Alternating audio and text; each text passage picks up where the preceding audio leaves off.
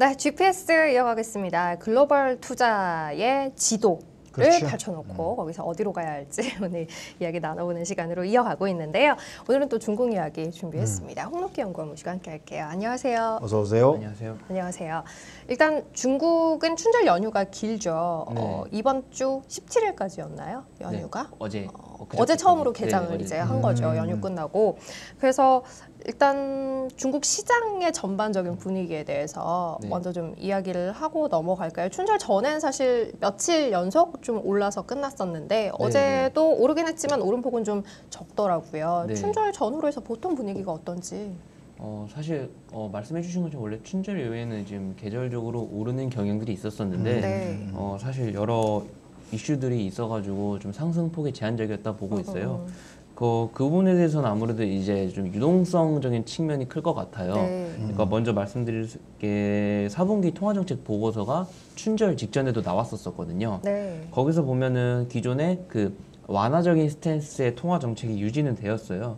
그러니까 뭐 통화 정책을 활용하는 데 있어서 이제 사용했던 단어들이 뭐 중립, 융통성, 합리성 이런 좀 이런 대- 문구들을 강조를 좋은 했고요. 얘기는 다 가득 나네. 예, 예.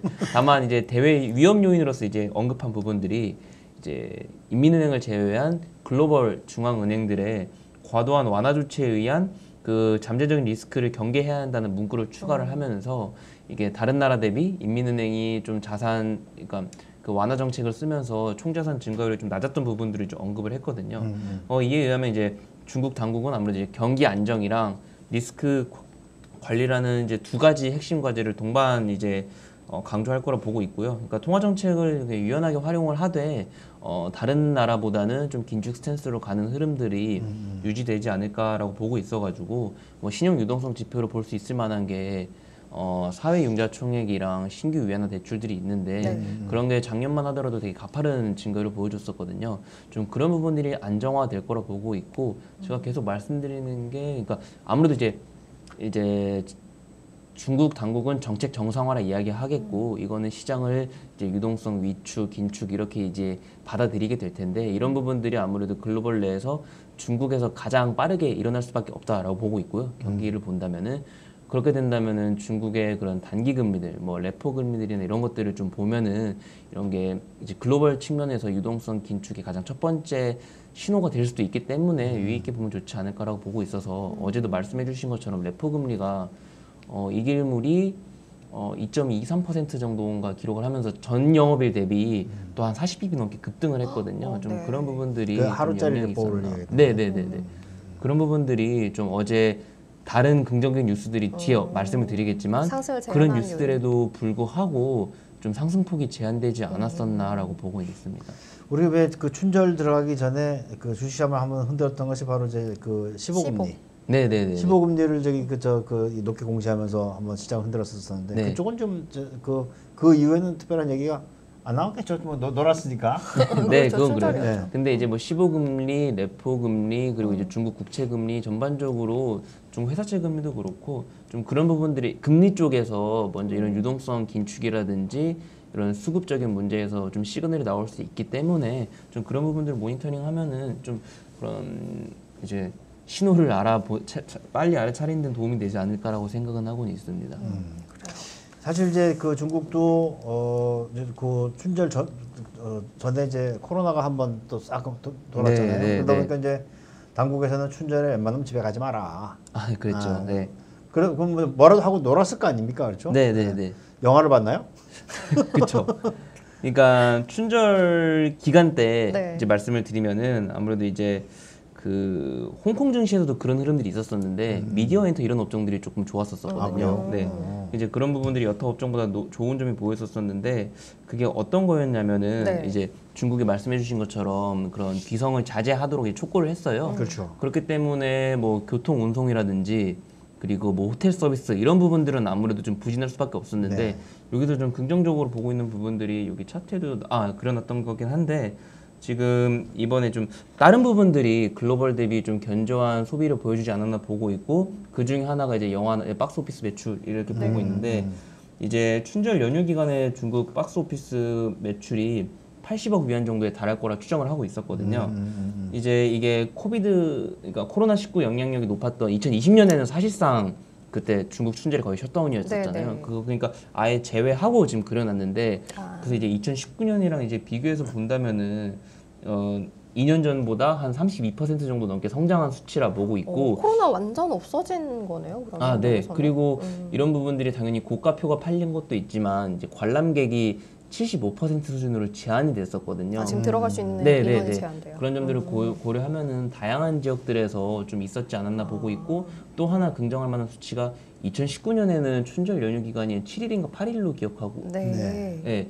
2020년에는 아, 더, 더 짧았던 걸로 기억하거든요. 2020년이 21년이 그래서 그런 점들을 고려하면 영업일도 더, 춘절 연휴 기간이 더 짧았기 때문에 아무래도 지금 이 수치 자체가 좀 긍정적인 수치라 보고 있고 사람들이 사실 그렇잖아요. 그러니까 영화 보고 나면은 당연히 이제 생필품 구매도 하고 그렇죠. 뭐 간식도 사 먹고. 어, 네, 음식도 사 먹, 외식도 하다 보니까 그 전반적인 이런 일상 구매, 생필품 구매라든지 외식 소비가 늘어나지 않았을까라고 보고 있고 이런 점들이 아무래도 좀 어, 중국 증시의 좀 소비적인 측면에서 좋은 흐름을 보여주지 않을까라고 보고 있고 이런 부분들이 아무래도 이제 정책 기대감이라든지 실적 기대감으로 이어질 수 있을 것 같다라고 생각을 하고 있어요. 중국은 원래 집에서 잘 해- 해먹지 않잖아요. 대체로 밖에 나가서 저기 먹고 오잖아요. 그런가요? 아니, 뭐다 다른 나, 나라마다 비슷하지 않을까 싶은데 중국 저기 그 부인들은 음식 잘 안 하시고 저기 그, 그 남편들이 하시던데. 아 그렇죠.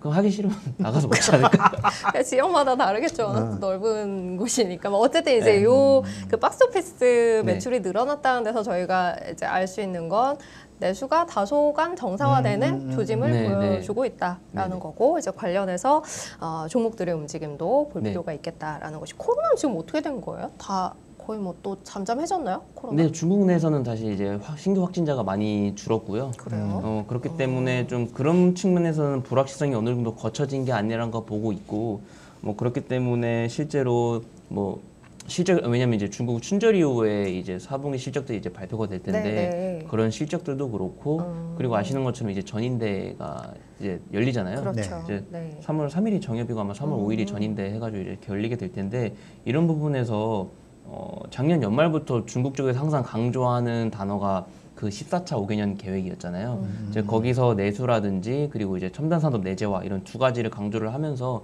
이제 관련된 산업들에 있어서 수혜가 가지 않을까라는 기대들을 많이 했었었는데 이런 부분들이 다시 전인대를 전후로 좀 정책들이 발표가 되면서 그리고 이제 뉴스에서도 이제 언급이 되면서 관련된 산업들에도 좀 관심이 다시 높아지지 않을까라고 네. 보고는 있습니다. 자, 앞서 이제 첫 번째로 봤던 게 중국의 유동성이라는 측면에서는 올해 조금은 긴장해서 봐야 할 부분이 있을 것 네. 같다라는 이야기였는데 그럼에도 불구하고 이제 저희는 중국 주식 이야기를 해야 하니까 유동성이 좀 타이트해지는 구간이라면 역시 또 실적 좋은 것들에 조금 더 관심이 몰릴 수밖에 없을 텐데요. 어느 쪽으로 어, 올 한해 관심을 갖고 볼 수 있을지 실적 측면에서 좀 성장이 크게 기대되는 기업들 있다면 리스트를 한번 정리해 볼까요? 네, 업종별로 본다면은 네. 확실히 그 소비재 기업들, 그러니까 뭐 경기 소비재든 그 어, 경기 음. 경기에 민감 소비재든 민감하지 않는 소비재든 전반적으로 실적 상승이 좀 높게 나타날 거라 보고 있고요.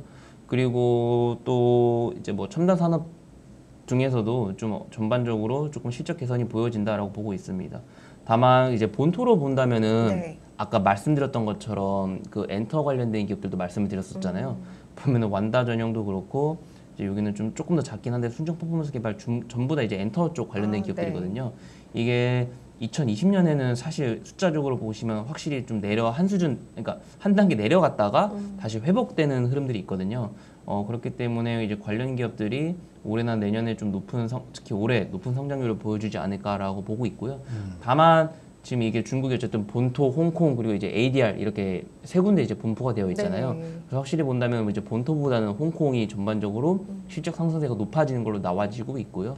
그리고 ADR 쪽에서도 이제 좀 실적 성장세가 높은 기업들이 많이 보여지고 있다라고 보고는 있습니다. 아무래도 뭐 실적이 확, 확 좋아지는 그 이유는 기저 때문에도 그럴 수 있는 거죠. 그렇죠. 사실 뭐 모든 상황들이 그렇지만 그렇죠. 코로나 올해는. 이후에 좀 기저는 사실 무시할 수 없다라고 보고 있고 음. 그래서 사실 이제 그 코로나 기절을 제외하더라도 좀 성장률이 자체적으로 좀 높게 형성되는 기업들이 있잖아요. 음. 좀 그런 기업들도 보면 좋을 것 같다라고 네. 보고는 있습니다. 구체적으로 어떤 기업들이 있- 있나요? 어 사실 아까 말씀드린 ADR 쪽이 조금 더 매출 네. 성장률이 ADR. 높다고 말씀드렸었는데 A, ADR이라 그러면 이제 아, 미국의, 미국, 예, 네, 미국 상장 상장 중국 주식들이 좀 네, 네. 전반적으로 높은 성장세를 보여줬었는데 거기서 이제 가장 높게 나왔던 기업들이 그 릴렉스 테크놀로지거든요. 릴렉스. 어, 네, 그러니까, 그러니까 그 매출 스크리닝을 하다 보니까 가장 높게 보여서 이제 공부를 하게 됐는데 이게 뭐 하는 회사인가요? 이제 관련 기업이 이제 동사가 그 전 세계 흡연자를 대상으로 어, 어, 고객을 두고 있는 중국 전자담배 기업이거든요. 음, 전자담배. 네, 그러니까 뭐 제품 개발이라든지 연구 그리고 공급망 관리 그리고 이제 오프라인 채널까지 이제 책임지고 있는데 이제 이 대표가 이제 우버 차이나에 있었던 이제 대표가 나오면서 2018년도 1월에 설립한 회사고요. 어 아까 전자담배를 말씀드렸었는데 그냥 기본적으로 그, 그 패스 시스템 충전식 전자담배를 제품 라인으로 이제 두고 있어서 다섯 개 정도를 이제 판매하고 있다라고 이제 보여지고 있습니다. 음, 전자담배. 이거 우리나라에도 들어옵니까? 우리나라 아 근데 저도 흡연자가 아니라서 잘 모르는데 네. 우리나라 같은 경우는 저 전자담배도 그 찐담배라고 하나 그런 것들이 많고 해외 같은 경우는 액상으로. 액상으로 있는데 액상 전자담배로 이제 알고 있어요. 아, 이건 액상. 네. 음, 그래요. 그렇군요. 자, 그럼 조금 더 저기 그 저그 릴렉사 관련된 이야기들 좀더 심도 있게 해보면, 음. 아 일단은 뭐 저기 그 판매는 예, 도매 판매하고 직접 판매, 온라인 직접 판매하고, 네 네 네. 그 다음에 그렇다면 실적 같은 경우는 어떻게 지금 뭐 그 집계가 되는 게 있나요? 어, 네. 지금 아까 말씀드렸던 이제 판매 채널이랑 실적 네, 네. 두개 말씀을 드리면은 지금 이게 오프라인 채널을 많이 강조를 하고 있어요. 이게 음. 보시면은 이제 2019년 최근 기준으로 오프라인이 대부분인데 그러네요. 이런 이유가 왜 100이네요. 음. 발생했냐면은 보시면은 지금 오프라인 채널은 꾸준히 아, 빠른 속도로 높아지고 있고 네. 원래 온라인 판매도 하긴 했었었거든요. 근데 그게 이런 부분들이 줄었어요. 갑자기 줄어버린 건데 이게 어떤 부분이 있냐면은 중국에서 그 전, 중국 전자담배에 관련돼서 좀 이제 온라인 판매랑 광고를 금지하는 정책들을 내놨었고요. 좀 이런 부분들이 그 동사에 조금 단기적으로 좀 안 좋은 악재로 작용을 했었었어요. 다만 회사 차원에서는 좀 빠르게 대응 조치를 하면서 오프라인을 이제 극대화시켰고 그 외 채널들을 좀 그 크게 최소화시키는 이제 흐름들이 있었었고요. 그래서 2018년도만 하더라도 오프라인에 의한 매출 비중이 한 60% 정도 수준이고 온라인을 통한 매출이 한 40% 정도였는데 지금은 보면 오프라인이 거의 98.2%로 압도적인 수준으로 보여지고 있고요. 뭐 실제로 이렇기 때문에 그 유통업체 한 110개 정도랑 그 제휴를 맺어서 5천 개 이상의 이제 브랜드 파트너스를 구축한 걸로 파악이 되고 있고요. 네. 그리고 중국 전역에 걸쳐서 그러니까 도시 기준으로 한 250개 정도 도시에 진출한 거 보여주고 있는데 이제 소매 이제 10만 개가 넘는 소매점에 이제 판매를 하고 있는 걸로 이제 파악이 되고 있습니다. 중국에서만 판매를 하는 건가요? 일단 그 부분에서 국가별 매출은 사실 정확히 나 브레이크다운을 해주진 않았었는데 네. 일단 그 온라인 사이트 방문자 숫자를 보더라도 네. 그 중국 본토 그러니까 홍콩이랑 중국 본토를 합산하면 합산하면은 네. 한70% 정도 차지하고 있고요. 음. 어, 실제로 지금 여기도 보시면 오프라인 매출 비중이 원, 원체 높잖아요. 네. 그렇기 때문에 아무래도 중국 쪽에서 대부분 음. 매출이 발생하고 있는 게 아닌가 예, 추측을 하고 있습니다. 근데 이제 이런 거 있잖아요. 우리도 보면은 어, 술이나 담배 같은 경우에 네. 예, 그 미성년자들은 못 사게 돼 있잖아요. 그런 규제들이 중국이나 홍콩에도 어, 있는 건가요? 그러니까 왜냐하면 만약에 그런 것이 없다면 저- 그 온라인으로도 많이 팔릴 텐데 아, 네. 그런 것들이 있기 때문에 오프라인이 저기 그 주가 되는 게 아닌가 싶은 생각이 들어서 어, 아니요. 그거랑은 상관은 없고요. 그래요? 중국 미성년자 술은 술은 못 모르겠는데 담배는? 상관없고. 그래요? 네. 그래요. 다 피던데. 아, 우리 애들 우리 애들도 다 펴요. 그러니까 교복 입고요. 어, 우리 애들도 교복 입고 펴요. 아, 요즘 그래요? 뭐 이건 좀 확인을 어, 그- 해봐야 할 것 같아요. 아유 우리 홍록교육원은 길거리 가실 때 눈 감고 다니시는 아 물론 모양이에요. 피는 피, 는 아이들이 있긴 합니다만 걔들이 아, 근데 어, 일단- 합법적으로 피는 건 그러니까 저도 아니니까. 지금은 모르겠는데 한 과거 한 5, 6년 전만 하더라도 미성년자가 담배 피는 게 법적인 제한은 없었어요. 그래요. 음, 어. 알겠어요. 이거는 좀 확인해. 보도록 하고 네. 일단은 전체 매출 구조 안에서 온라인과 오프라인의 비중의 네. 변화에 대해서 좀 봤는데 네. 오프라인이 늘어나면 비용은 좀 더 늘어나지 않을까 싶고 그러면 그걸 상쇄할 만큼의 매출 성장이 이루어지고 있는 건지 그것도 궁금하고 실적 추이를 좀 볼까요? 네, 그래서 이제 여기 보면 실적 테이블을 가져왔는데 네. 보시면은 영업이익률도 더 높아지고요. 그러니까 매출 자체 성장세가 워낙 어, 가파르다라고 봐주시면 될 것 같아요. 그 2019년도 기준으로 하면은 매출이 2억 2천만 달러 정도 기록을 하면서 전년 대비 한 1000% 넘게 성장을 했고 영업이익만 영업이익도 820만 달러를 기록을 하면서 전년 대비 한 2.6% 2,600% 이제 성장을 했거든요. 네. 순이익도 바로 이제 흑자를 기록을 했고요.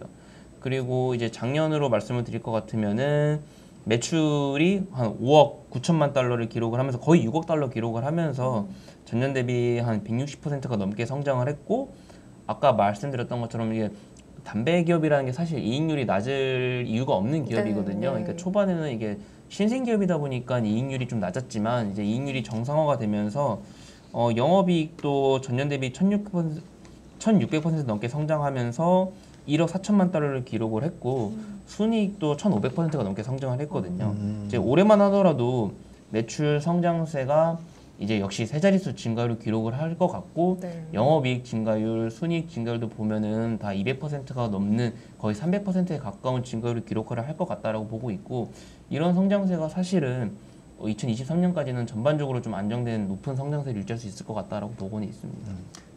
팩트 체크 하나 하고 가면 수성년 2019년 1월 그 2019년 11월 1일 네. 11월 1일자로 중국 어, 정부는 최근이네요. 미성년자에 대한 전자담배 판매를 전면 금지하는 동시에 아, 전자담배를 인터넷을 통해서 팔 수 없도록 했다. 아 네. 아, 이런 조치가 있었기 때문에 아마 그런 현상들이 있었을 거로 보여져요. 아 온라인 판매에 대해서는 네. 네, 온라인 판매에 대해서. 네. 그러니까 이제 오프라인은 자연스럽게 걸, 걸러지겠죠. 야 내놔봐, 어, 까봐 그렇게 되겠죠. 네. 뭐 어쨌든 여기 이제 팩트 체크를 한번 했고. 네, 네. 그건 그렇고.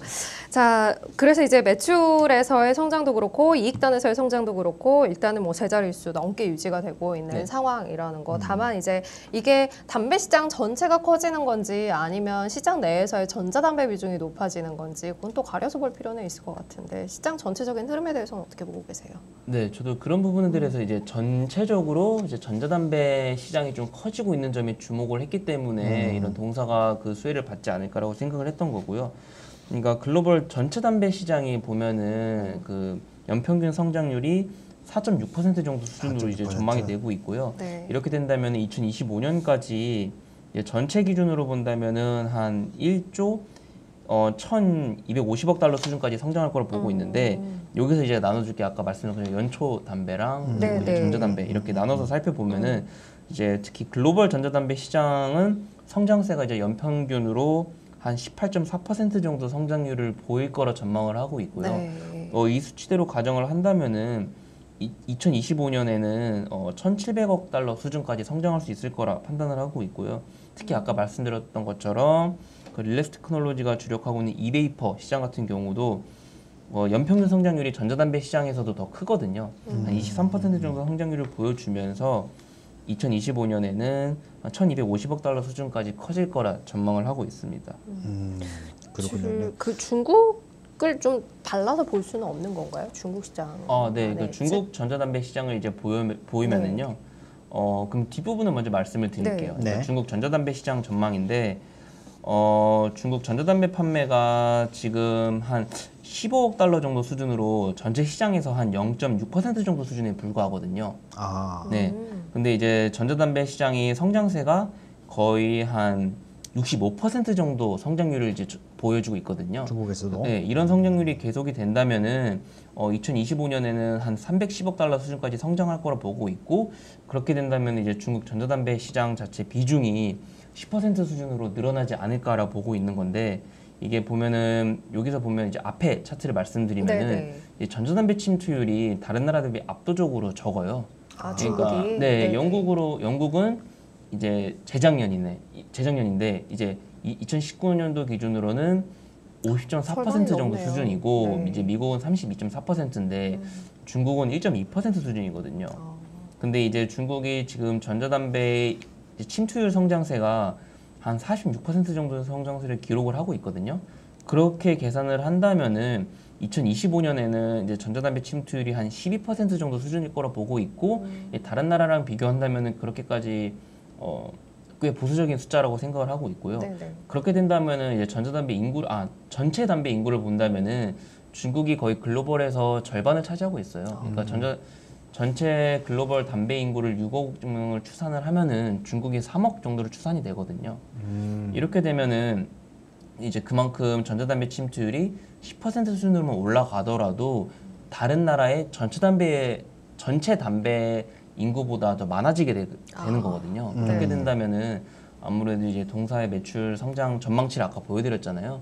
그거보다 더 가파른 성장세도 가능하지 않을까 싶어서 좋게 보고는 있습니다. 야, 중국 사람들이 그 담배 피는 사람 흡연자 수가 3억 명 정도. 네, 네, 네. 생각보다 많지 않네. 3억인데. 인구 13억에 3억이면 뭐 저도 솔직히 숫자 보고 생각보다 집계가 적- 덜된 것도 있긴 있을 했습니다. 것 같아요. 사실 다 통계 완전히 드러나는 게 아니에요. 원래는 피면서 또 저기 그저 설문조사할 때 안 핀다고 하는 사람도 있을 수가 있고. 아 그래요? 그렇죠.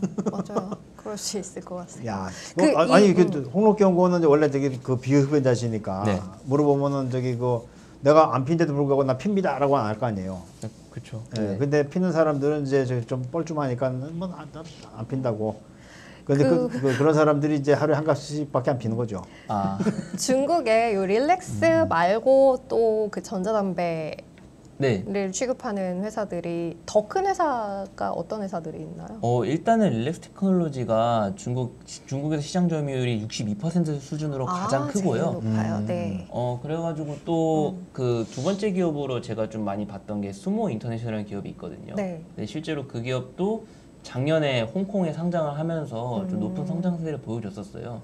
그 실제로 그 두 개 기업을 비교를 하면은 그 아직까지는 매출 성장 매출 전체 규모는 그 스모 인터내셔널이 더 크긴 크거든요. 음. 근데 어. 보면은 수모 인터내셔널은 그 이제 매출 발생하는 국가들을 살펴보면은 홍콩이랑 중국 합쳐서 이제 중화권 내에서 발생하는 매출이 한 50%에서 60% 수준으로 이제 차지하고 있고 네. 그 외의 지역에서 발생을 많이 하고 있는 걸 보고 있거든요. 근데 아까 말씀드린 것처럼 그 성장세 자체가 어 글로벌 전자담배가 큰 거는 사실인데 음. 이제 중국 전자담배 시장 성장세가 더 크다고 말씀을 드렸잖아요. 네, 네. 특히 그 침투율이 말씀드린 가정대로 되면은 음. 중국의 전자담배 인구 자체가 다른 나라의 전체 담배 인구보다 높아질 거라 보고 있기 때문에 이렇게 된다면 지금이야 스모 인터내셔널이 매출도 더 크고 시가총액도 더 높지만 그 아까 말씀드렸던 것처럼 그 중국 전자담배 시장에 의한 레버리지 효과는 그 릴렉스 음, 테크놀로지가 더더클 크지. 않을까라고 보고 있기 때문에 네. 조금 더 이 기업을 먼저 보는 게 좋겠다라고 생각을 했었습니다. 그러니까 성장하는 시장에 집중도가 높은. 네 그렇습니다. 네, 지금은 좀- 어, 2위에 비해서 좀 처지지만 네 네. 중국 시장이 커질 가능성이 조금 더 높은 시장이고 침투율이 더 빠르게 높아지는 네. 시장이기 때문에 매출의 성장세도 더 가팔라질 거다. 이게 뉴욕 증권거래소에 상장이 돼 있는 네. 기업인 예, 거죠. 어, 지금 상장한 지 얼마 안 됐나 봐요. 어, 그런가요? 이제 1월 1월 말에 1월에 했으니까 아, 삼 신규, 주, 사주. 거의, 거의 네. 신규 상장 네, 네, 네. 정도이네요. 그렇구나. 아, 지금 사실 이제 상장하고 나서 초반에 좀 움직임이 컸다가 네, 지금 조금 잠잠해져 잠잠한 있는 상태입니다. 구간. 지금 주가의 밸류에이션은 어느 정도로 보고 계세요? 어, 그래서 아까 말씀드린 것처럼 제가 그걸 비교를 했던 게 스모 인터넷이랑 많이 음. 네네. 비교했었는데 지금 두 개가 아마 조금 주가 변동이 있었어도 아마 시가총액 기준으로 본다면은 스모 인터넷의 한 절반 정도로 제가 기억을 하고 있거든요. 음, 근데 아까 말씀드린 것처럼 매출이 한 2년 3년 지나가면은 거의 비슷한 수준으로 올 거라 보고 있고 음. 특히 아까 말, 말씀드렸던 것처럼 그 국가별 바- 차이가 좀 매출 차이가 있다고 말씀드렸잖아요. 네. 그래서 이제 중국 담배 시장이 커지면서 발생하는 효과는 그 릴렉스 테크놀로지가 더 클 거라 보고 있기 때문에 그 스모 인터내셔널만큼의 이제 성장 그러니까 시가총액 측면에서도 그만큼은 커도 무리가 없는 상황이 아닌가라고 보고 있어서 장기적으로 본다면은 조금 우상향으로 계속 갈 수 있는 어, 기업 중에 하나라고 보고는 있습니다. 제가 이제 다년간에 뭐 지금은 이제 그 금연을 그 하고 있지만 다년간에 담배를 피워본 적이 그 경험에 보면은 담배 업체들은 연초에는 실적이 안 좋아요. 아, 다짐을 하니까. 다 다짐을 하죠. 그런데 이제 그 한 3월 4월 가게 되면 아 이게 안 되는구나. 라고 하면 그 사이 못 폈던 걸 다 피기 때문에 네. 음, pent-up demand가 1분기 전 2분기 들어가면 매출이 확. 발생하는군요. 그래요. 뭐 어찌됐든 이제 앞으로 기대되는 매출 성장의 폭에 비해서는 현재 주가의 수준은 경쟁사 대비 절반 정도밖에 안 되는 것 같다라는 이야기로 오늘 RELX Technology에 대한 어, 이야기는 마무리하도록 하겠습니다. 이게 티커가 R, 어, RLX 그죠? 네, 맞습니다. 맞나요? 네, 알겠습니다. 자, 오늘 홍록기 연구원 모시고 함께했습니다. 고맙습니다. 고맙습니다. 네.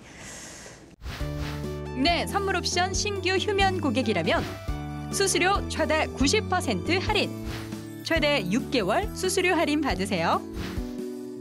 투자 시 원금 초과 손실에 유의하세요.